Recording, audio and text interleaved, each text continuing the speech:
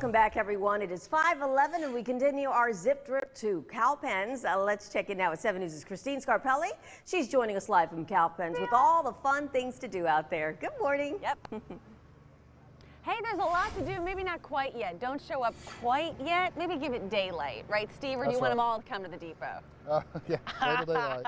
Steve Mullen here with me, town administrator. He brought me to the depot, and listen, you better behave or you're coming here too. This is so cool. We got a little swag here, a little cowpen swag Yep. in front of us. Mighty Moo Festival is today. You know how many people I've had to uh, tell people about what Mighty Moo is, the festival, cowpens, what's going on. What would you like our viewers to know about it today? When's it start? Starts to, uh, tonight. Tonight. Very good. With what?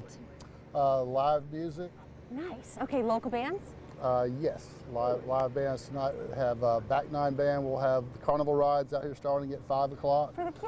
Yep, lots of food vendors, a lot going on. Very good. Okay, we've talked food vendors. We're going to have a few restaurants here with us this morning. We know you have some good food We here do. in Cowpens. How about at the Mighty Moo Festival? What can we expect? The good fried stuff? All the good fried stuff, all the good fried stuff, and some good cold stuff, ice cream, and uh, all the great treats we're used to from Mighty Moo. Very good. Mighty Moo, something that's kind of unique. We're going to learn about it a little bit more this morning, but Mighty Moo, kind of the nickname for the USS Cowpens. It is. One It is. battleship, two battleships commissioned over the years. World War II, one fought over in Japan. Really interesting. Do you find when people come, they have a lot of questions?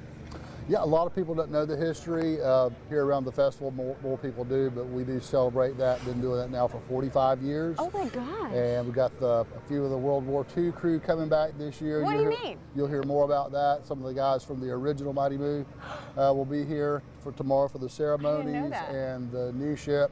I've already seen a couple of dozen of those guys, and they're coming every year now. So it'll be a big reunion for all of them. Fantastic. Okay, you heard him. The music kicks off tonight. It does. Very good, guys. Mighty Moo will be today and tomorrow. Really exciting festival here in Cowpens. To learn more about it, do you want to send them to a website, Facebook page? Yep, themightymoo.com, uh, and, uh, and then they're on Facebook also. And when's the parade?